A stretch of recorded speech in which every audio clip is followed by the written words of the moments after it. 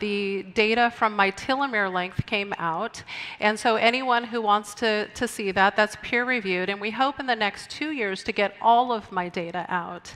And what's really exciting about that is that in between my first gene therapy, which some of you may not know I've taken, I have like 300 friends here that have been with me since the beginning of my journey. Some people here were actually here at the first talks that I did before I did a gene therapy in 2015 to push this type of technology forward, to get the first human data.